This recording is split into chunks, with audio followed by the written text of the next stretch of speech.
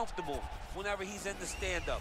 And that showed tonight as he truly outworked his opponent. See how the judges saw it. Here is Bruce Buffer. Ladies and gentlemen, after three rounds, we go to the judges' scorecards for a decision.